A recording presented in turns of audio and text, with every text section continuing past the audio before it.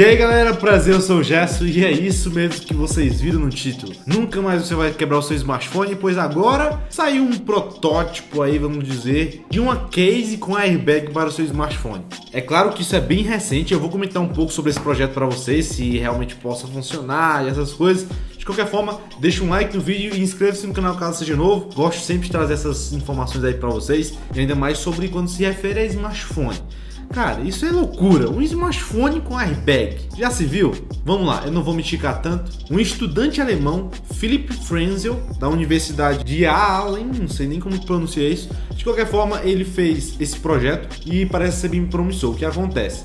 Ele fez uma case para um celular que possui sensores de presença. Aqueles mesmos sensores, por exemplo, que tem num sensor de estacionamento do seu carro, até nos próprios drones, né, que tem um sensor que ele reconhece ali o trajeto quando ele está fazendo o pouso. Em 5 metros de distância o drone já faz o pouso ali descendo devagarinho, pois ele possui um sensor para aquilo. Mas se a gente pegasse um sensor minúsculo e colocasse ali em uma case para smartphone e acionasse algo para quando o smartphone caísse, protegesse da queda. Foi exatamente isso que esse alemão pensou e parece ser bacana. Como vocês podem ver nas imagens, vamos dizer que assim que ele derruba acidentalmente o smartphone, a case aciona esses airbags através dos sensores. E pelo que vocês puderam perceber também, é um material ali que dobra as pontas e depois você guarda na case. Parece ser algo bacana, mas aí a gente para para pensar, cara, isso e se, sei lá, se eu derrubar, por exemplo, o smartphone em uma mesa, por exemplo, aqui o smartphone, né, são nas pontas,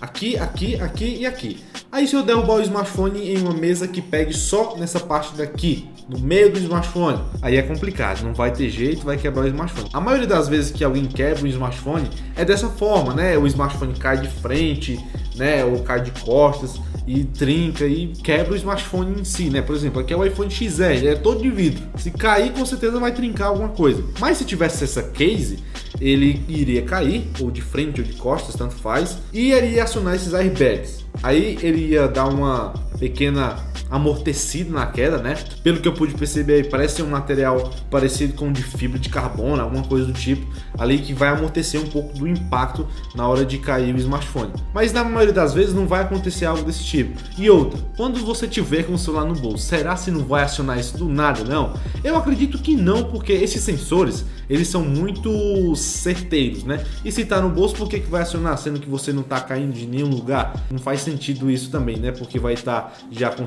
sensores presenciando ali, que já está próximo a algo ali, né? Que no caso seria a calça, sua perna, sacou? Exatamente isso. É porque eu tenho um drone e eu sei exatamente como funciona. O sensor, ele presencia o ambiente da parte de baixo que ele está visualizando, vamos dizer assim. na hora que ele vai descendo, ele aciona e vai descendo devagarinho o drone. Aí se for um sensor, o mesmo sensor do drone, ele vai fazer exatamente essa mesma coisa, porém que acionando aí a parte das molas que vão amortecer a queda do smartphone. Mas vamos lá, esse projeto está financiado, vai para frente ou não vai? Então, esse projeto ele talvez comece a ser financiado esse mês de dezembro através de um site chamado Quickstarter. Se eu não me engano, é um site que financia justamente projetos, né? Aí, a partir daí, serão feitas algumas unidades para realmente começar a produção. Mas aí a gente para para pensar também, o smartphone não iria ficar tão grande com essa case?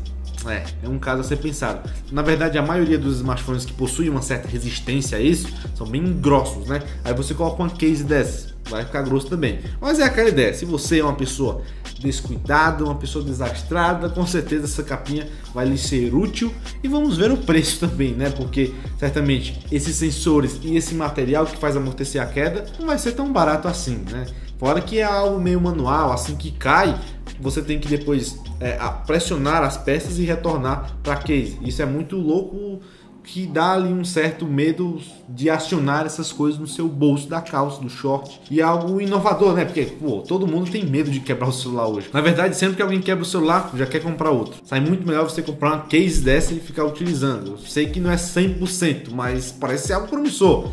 E esse foi o meu vídeo, espero que tenham curtido essa informação. Achei bem bacana de repassar para vocês. Se você curtiu, deixa um like, inscreva-se no canal caso seja novo. Eu vou ficando por aqui, acompanhe os vídeos, tem muito vídeo chegando aí, praticamente quase todo dia, então bora com tudo.